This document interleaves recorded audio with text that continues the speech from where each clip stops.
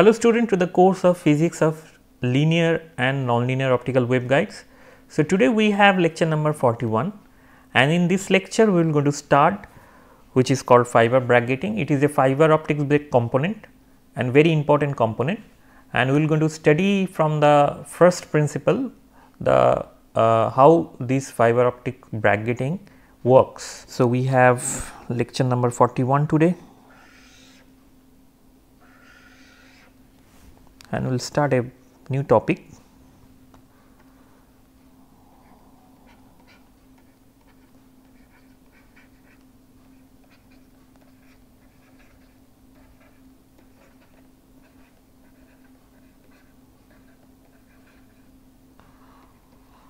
Fiber Bragg grating on in, short FBG. So, what is fiber Bragg grating? So, a fiber Bragg grating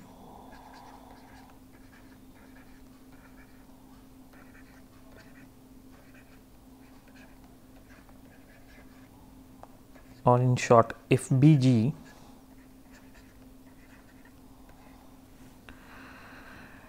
is a periodic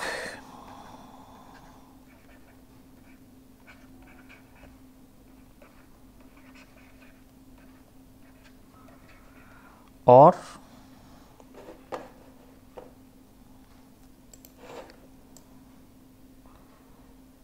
periodic or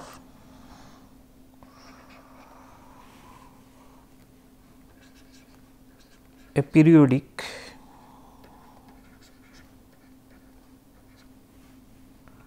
perturbation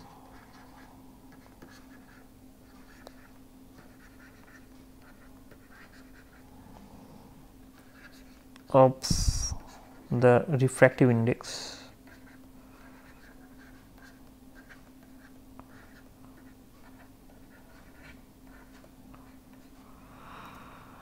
in the core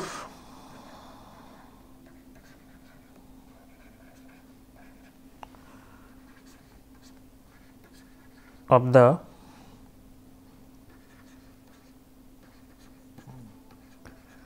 optical fiber. So, I try to draw this. So, what is the meaning of periodic or aperiodic perturbations that we need to understand. So, let me draw quickly the fiber structure.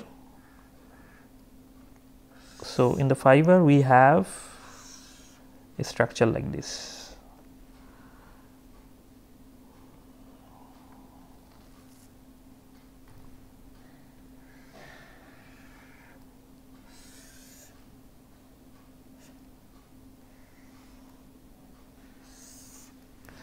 I have a core part and I have a cladding part. In the core part, if I have a periodic variation of the refractive index like this,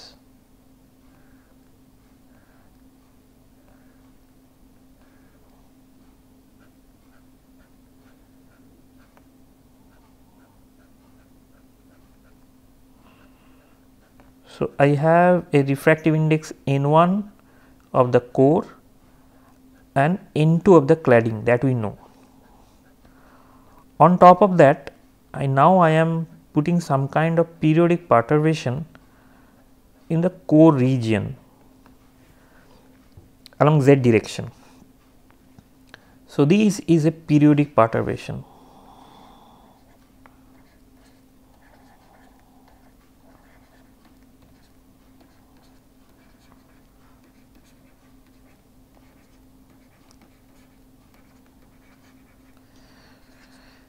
Of refractive index.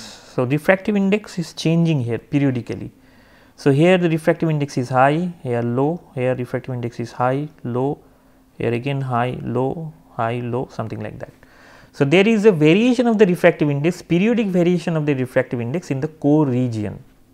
So, this is roughly the structure of Bragg bracketing. So, this periodic variation of the refractive index of the core along z, z direction is called uh, this entire system is called the Bragg grating fiber Bragg grating. So, if I draw a, a straightforward simple two dimensional figure, so, so this is the cross sectional view. So, I am having this and I am having these perturbations here.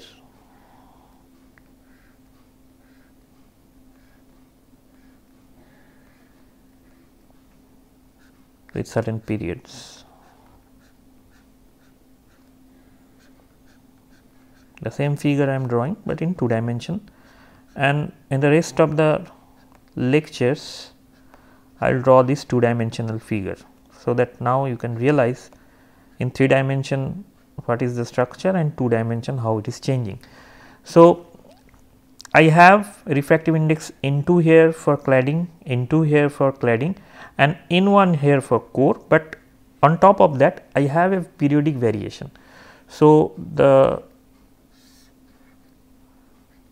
coordinate is like this, this is z and this is x, this is clad and this is core. And this portion there is a variation and this variation is along z direction.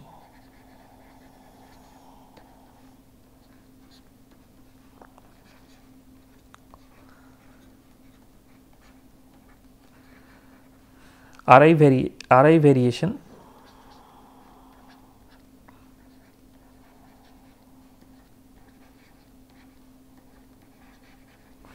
along z direction. So, refractive index is now vary periodically and this variation is along the z direction that means along the direction of the propagation.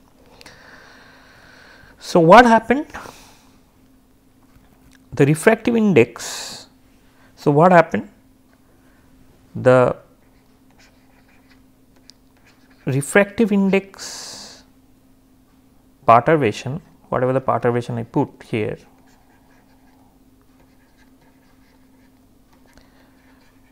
the refractive index perturbation on Ri uh, perturbation leads to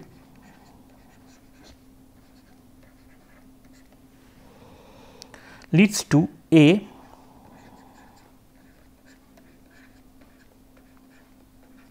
reflection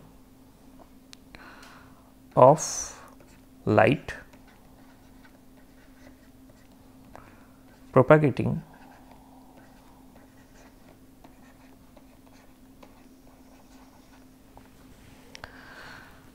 along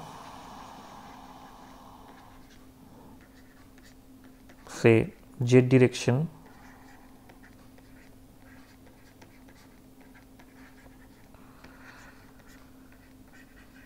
of the fiber.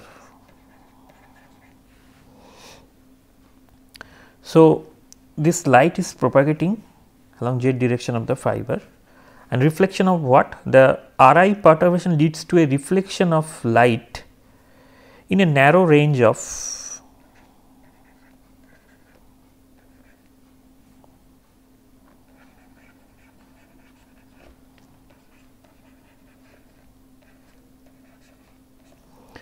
narrow range of wavelengths.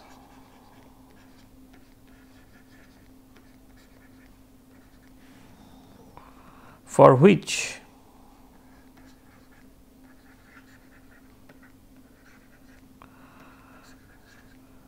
the Bragg condition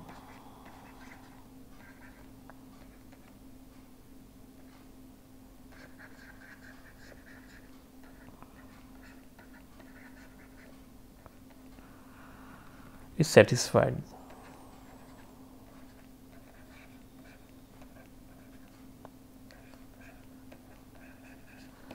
So, for this kind of structure, so what is the Bragg condition? So, let me write it down first. So, which wavelength will going to reflect back? It is lambda b equal to 2 n effective. We are going to prove that and big lambda, where this big lambda is the grating period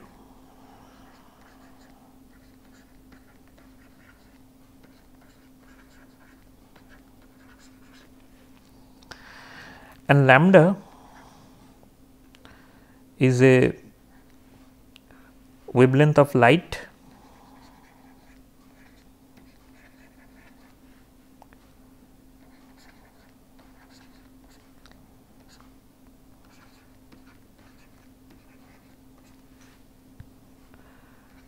At vacuum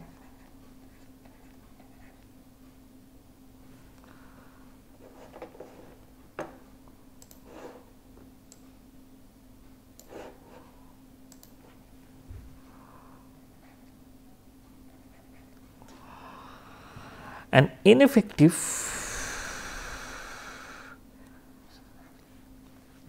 the effective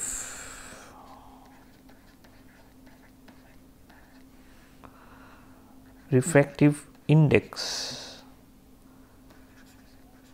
of the light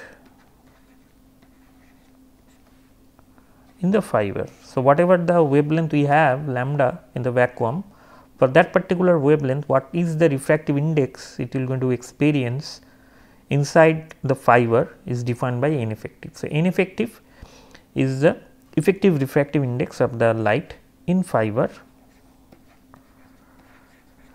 and lambda b is a Bragg wavelength. This is a this is Bragg wavelength. This is the wavelength that will going to reflect.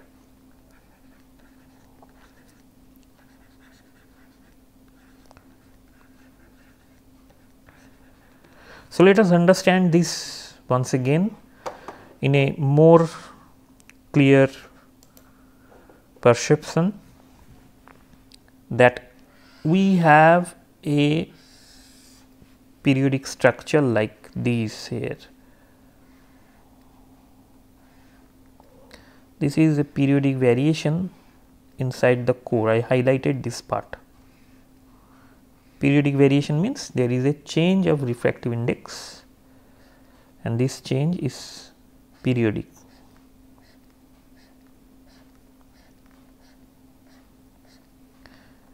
This darker part means we have higher refractive index than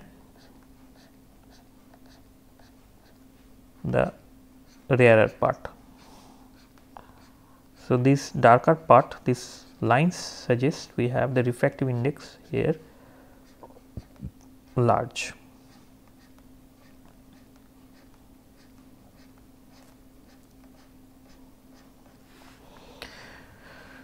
So, what is lambda here? from here to here if I measure the distance this is the period and this period is my lambda. This is the lambda period of the grating. Now what happened I launch a light having a range of wavelength. So, there is a bandwidth of the light. So, I launch a light. So, I have a bandwidth say some delta lambda. And in this particular bandwidth there is a specific lambda which is following a very sharp lambda say lambda b. Even though it's it's it is having some kind of width but that is much much less compared to the light that is launched here the bandwidth of the light that is launched here. So, these things will going to reflect back. So, this is in this things is going inside. Suppose I launch it here it is going inside. And something is coming back behave like a it behave like a reflection. So, this reflection is nothing but a particular wavelength is reflecting out and in the output what happened. So, the, this is the output what happened. I am going to have this similar with only thing is this particular lambda we will going to miss. So, I launch. So, this is my lambda b. So, from the entire spectra this lambda b will going to miss because this lambda is reflected out from this structure. So, this is the principle of fiber working the rough working uh, working strategy of the fiber Bragg grating and why it is so useful because it is very sensitive this reflected wavelength is very sensitive to the value lambda. From the expression it is already mentioned that lambda b is equal to 2 n effective multiplied by lambda. So, that means if somehow I change somebody if somehow change this lambda big lambda that is the period of the grating then what happened instead of having lambda b we can have a new lambda lambda b because the condition Bragg condition will going to change. So, if I if I extend the fiber if I just put some kind of stretch over the fiber then this lambda this big lambda can now be stretched and I can have a lambda prime. If I if it is stretched then what happened now I can have a new lambda b. So, now I can have lambda b prime. In the previous case the condition lambda b equal to 2 n effective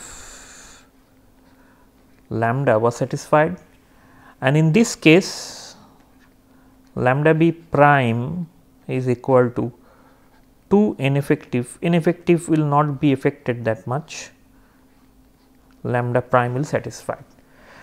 So, from this variation of lambda b one can have so this lambda b prime this delta lambda b rather which is say mod of lambda p prime minus lambda b. So, the change from the change of this variation of the reflected wavelength one can estimate many things. For example, one can estimate what is the stretch that is put to this fiber which can be used as a stretch sen sensor. If the fiber is heated then what happened that because of the heating this fiber will going to be expanded and if it is expanded this lambda which is the period of this grating will also going to be expanded and previously whatever the lambda it is reflecting now it will going to reflect different lambda b. So, I can measure what is the change and based on that I can calibrate and find what temperature is given to the fiber. So, that it behave a very sensitive sensor. Many research is going on, many people are working in this field, but in this lecture as I mentioned I try to understand from the very basic principle what is the working theory of this kind of structure. Well, after having a very rough knowledge of how these things is working, the next thing we will going to understand the, the fabrication procedure. So, the fabrication procedure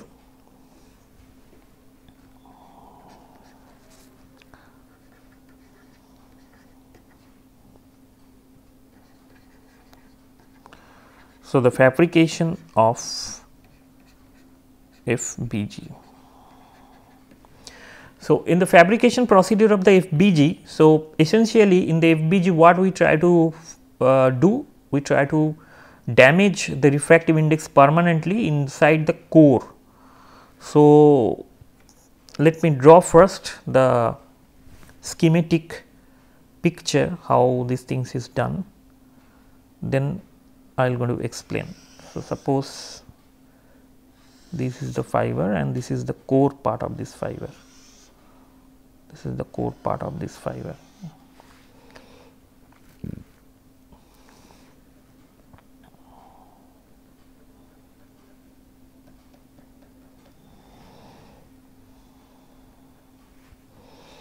So, the fiber is placed in a uh, in a in a field in a, in a UV radiation two lights UV light is now allowed to fall over the fiber and when these two light is falling over the fiber there should be some kind of interference of these two lights and because of that we can have some kind of interference pattern here.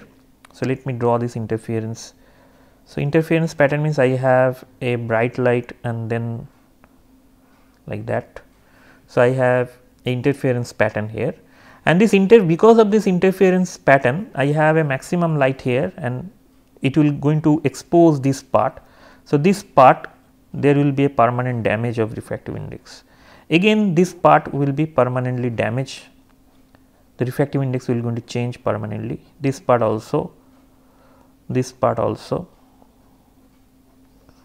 this part also. So, I launch as I mentioned I launch two UV light. So, suppose it is launching like this and this and another light is like this and this. So, UV light are coming two UV source is coming so that they can interfere here in the core region. So, this is lambda UV lambda UV that is falling over the fiber. And in the core region it is a there is interference it, it, it will create an interference pattern in the core region and when they will fall they will form interference pattern here there is a permanent damage in the core region we can have a periodic perturbation of the refractive index. So, if I draw here only the core region so, this will come like this.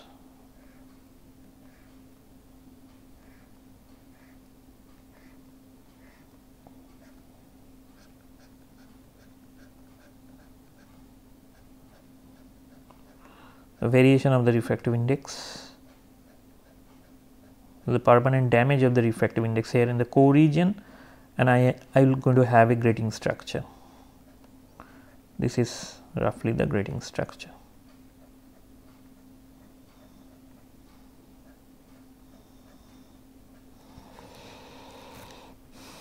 So, from here to here this value is lambda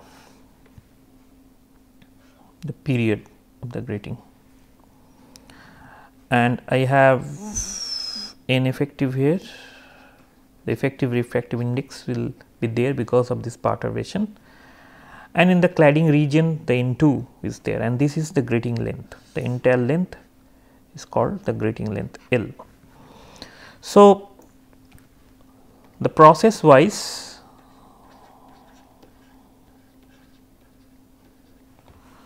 so the first if H2 loaded fiber core.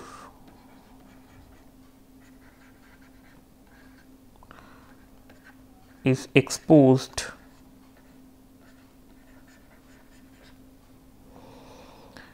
To strong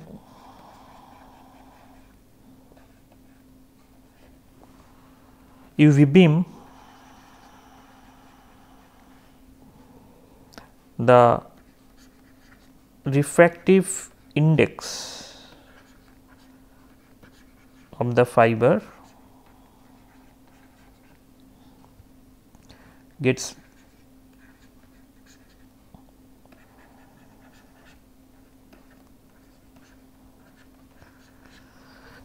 modified permanently.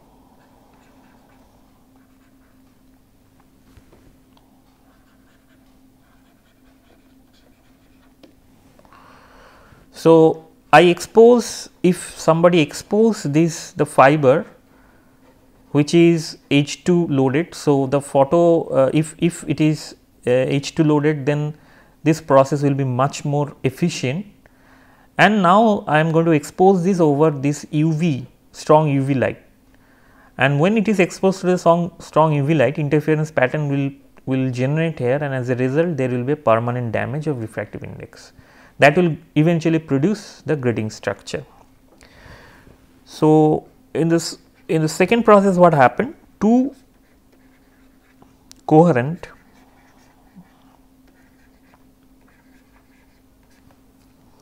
UV beam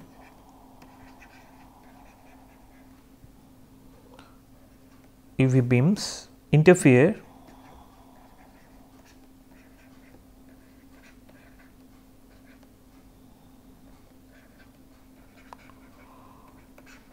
on the core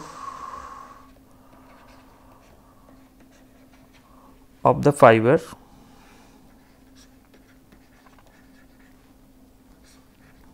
This causes as I mentioned a permanent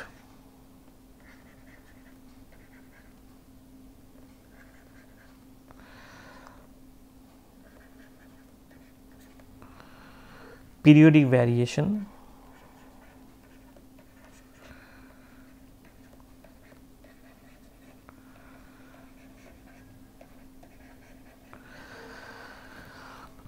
of Ri of the core. So, it, there is a periodic variation of the core, there is a permanent periodic variation of the core. So, there is a periodic kind of variation refractive index variation of the core is a function of z because of this interference pattern. I already explained that in this figure.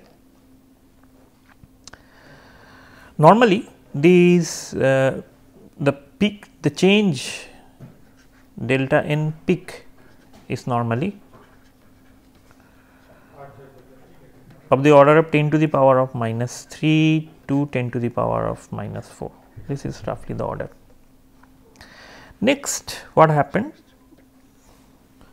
The refractive index, now the refractive index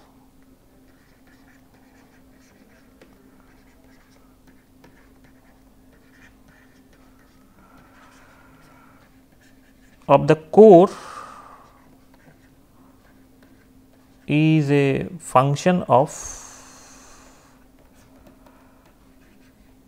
z as well that is important. So far we are dealing with refractive index as a function of x, but now this refractive index will be a function of x as well as z. So, that will give something extra in the couple mode theory. So, refractive index is changing over z. So, that is why it will be a function of z. So, refractive index n which is a function of x z can be write in this form n 1 which is a function of x plus additional modification due to these permanent damage. So, this basically take take care of the periodic variation so, this is related to the periodic variation.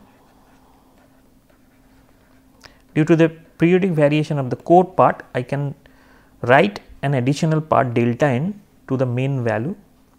So, this is basically the change of Ri, periodic change of Ri. Now, if I took n square, n square which is a function of x z, I can nearly write it as n 1 square plus 2 n 1 delta n z.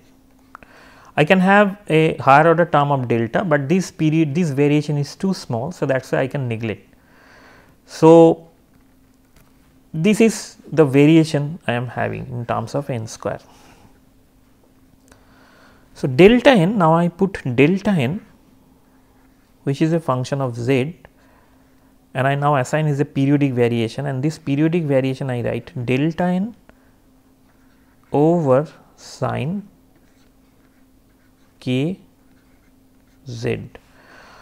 Now, k here is related to period it is related to the period of this variation. So, I can write this as 2 pi which is related to the period is equal to 2 pi divided by lambda where lambda is the grating period.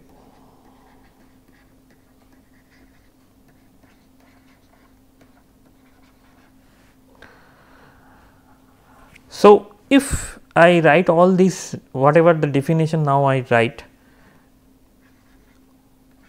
with the whatever the definition I used based on that I can write n square which is a function of x z is equal to n 1 square which is a function of x plus 2 n 1 which is a function of x. Then delta n sine of k z or n 1 x square plus this entire term I write sigma. Sigma of sine k z. I am going to use this expression of n square in the calculation. So, that is why I just define this. So, when sigma is equal to 2 of n 1 delta n. So, eventually I have n square equal to n 1 square plus sigma sine kz. So, this is the expression I am going to use in my couple mode theory in the next class. And we defined all the values here one by one. What is the meaning of meaning of delta n? What is the meaning of big delta n? Etc and this is basically the expression find out. And this expression tells us how the refractive index will going to vary in the core region because of the presence of this grating which is eventually the modification of the refractive index, periodic modification of the refractive index. So, with this note I would like to conclude today's class. In the next class we will study more about the Bragg grating and do all the calculations. So, thank you for your attention and see you in the next class.